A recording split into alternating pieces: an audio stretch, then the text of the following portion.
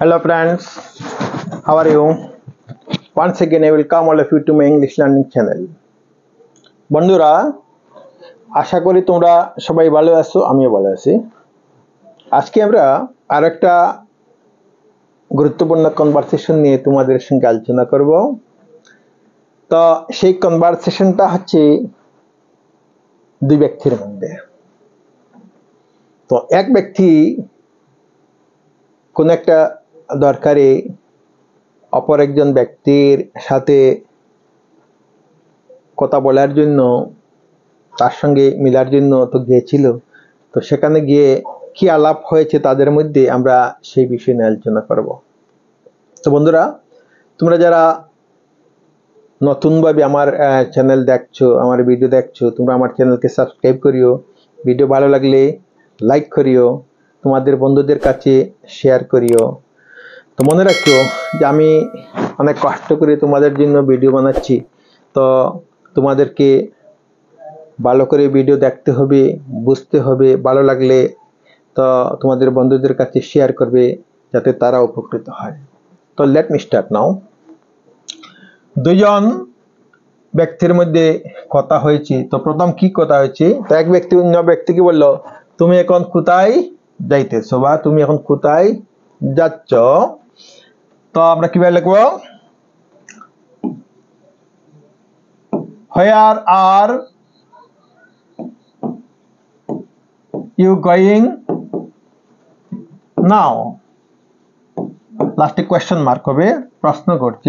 ব্যক্তি তো গিয়েছিল কথা বলার জন্য, তো গিয়ে দেখল কি? যে ব্যক্তি কোন দিকে যাচ্ছে, তো তখন প্রশ্ন করল where are you going now তো তুমি এখন কোথায় যাচ্ছ বা কোথায় যাইতেছ উত্তরে ব্যক্তিটা বলল, আমি এখন বাজারে মাছ কিনতে আমি যাইতেছি। আমি বাজারে মাছ কিনতে যাইতেছি। কীভাবে I am going to the market. I am going to the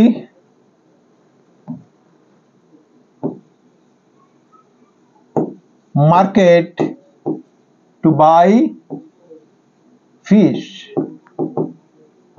আমি মাছ কিনতে বাজারে যাইতেছি, তো সেই ব্যক্তিটা উত্তর দিল যে যে মোমেন্টে ব্যক্তির সঙ্গে মিলিত হওয়ার জন্য গিয়েছিল, তো সেই মোমেন্টে দেখল কি?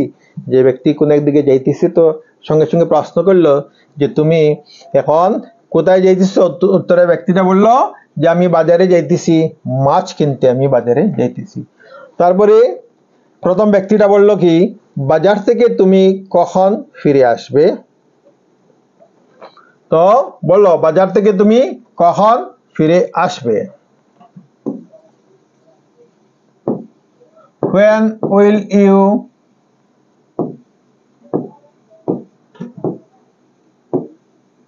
come back from the market? লাস্টে কোয়েশ্চেন মার্ক হবে। When will you come back? বাজার থেকে কখন ফিরে আসবে? এর জন্য আমরা কি? Whenটা কোয়েশ্চন ওয়ার্ড হোয়েন ব্যবহার করে আমরা প্রশ্নটা করলাম। When will you come back from the market বন্ধুরা তোরা খুব ভালোভাবে খেয়াল করবে যে প্রশ্ন করতে কীভাবে প্রশ্ন করতে হয়। তো আমরা এখানে কখন ফিরবে? এই জন্য আমরা কি? আমরা হোয়েন ওয়ার্ডটা ব্যবহার করেছি। তো এটা ফিউচারের ফিউচার টেন্সের ব্যাপার। তো তার সঙ্গে আমরা উইল ব্যবহার করেছি। কোয়েশ্চন ওয়ার্ডের পরে শেল বা উইল ব্যবহার করতে হয়, যদি ফিউচারে কোনো প্রশ্ন করা হয়। When will you come back from the market কখন তুমি ফিরে আসবে? তারপরে কি বলল? বাজার থেকে আমার জন্য একটা কলম নিয়ে আসবে। বলল যে, কখন ফিরবে? আর আসার সময় তুমি কি করবে?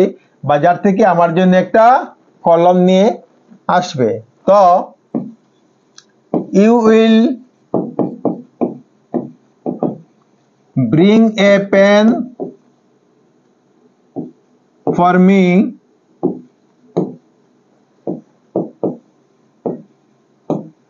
from the market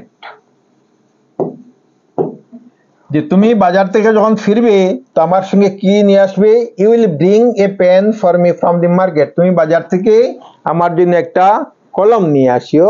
একটা কলম নিয়ে আসবে। তো সেই ব্যক্তিটাকে বলল। তারপরে কি? বাজার থেকে আসার পর তুমি আমাকে একটা কল করিও। তারপরে বলল কি, যে বাজার থেকে তুমি যখন আসবে, আসার পরে আমাকে ফোন করিও। তো you will dial me or call me. will dial or call me after returning or coming after coming from the market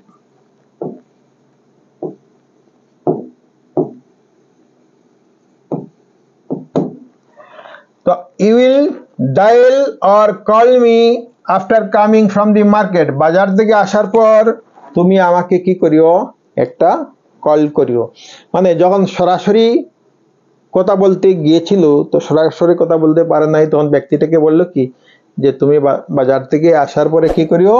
আমাকে তুমি কল করিও। তারপর কি বলল, তোমার সাথে আমার একটা গুরুত্বপূর্ণ কথা আছে। তুমি আমাকে কল করিও, তোমার সঙ্গে আমার কি আছে? গুরুত্বপূর্ণ কথা আছে। তো I have an important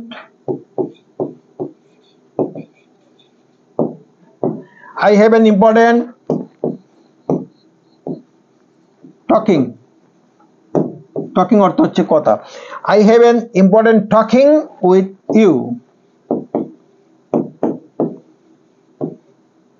আমার, তোমার সাথে কি আছে? একটা গুরুত্বপূর্ণ কথা আছে। আমার গুরুত্বপূর্ণ আলাপ আছে। I have an important talking talking অর্থে গুরুত্বপূর্ণ আলাপ, গুরুত্ব আলাপ বা কথা। ইম্পর্টেন্ট টকিং গুরুত্বপূর্ণ আলাপ বা গুরুত্বপূর্ণ কথা উইথ তোমার সাথে আমার একটা গুরুত্বপূর্ণ কথা আছে। তো এই জন্য তুমি বাজার থেকে আসার পরে আমাকে তুমি কল করিও। আমাকে তুমি ডায়াল করিও। আমাকে তুমি ফোন করিও। এই ধরনের বিভিন্ন অর্থ আছে। নিশ্চিতভাবে আমি তোমাকে কল করব। তো সেই ব্যক্তিটা কি বলল? সার্টেনলি সার্টেনলি আই শ্যাল আমি তোমাকে কল করব। আই শ্যাল কল ইউ নিশ্চিতভাবে আমি তোমাকে কল করব। সার্টেনলি মানে কি নিশ্চিতভাবে? এই শব্দটা কি বোঝার? নিশ্চিতভাবে ডেফিনেটলি সার্টেনলি শিওরলি এই অর্থে আমরা এইভাবে আমরা ব্যবহার করতে পারি। Certainly I shall call you নিশ্চিতভাবে আমি তোমাকে কল করব।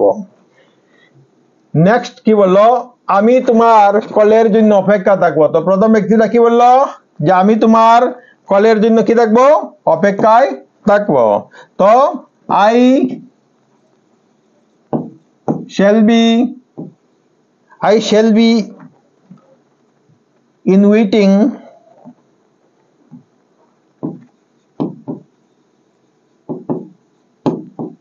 I shall be আমি অপেক্ষা থাকব। I shall be in waiting তোমার কলের জন্য ফর your কল